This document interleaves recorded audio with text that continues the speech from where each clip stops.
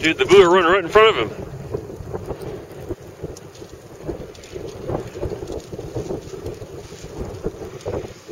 Dude, check it out. I did.